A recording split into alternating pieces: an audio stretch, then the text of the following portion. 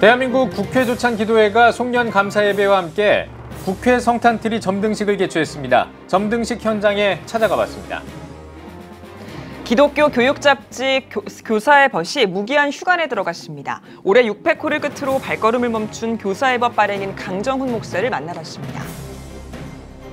대한예수교장로의 통합총회 소속 교회들이 대림절을 맞아 참회 입장문을 발표했습니다. 입장문 내용 전해드립니다.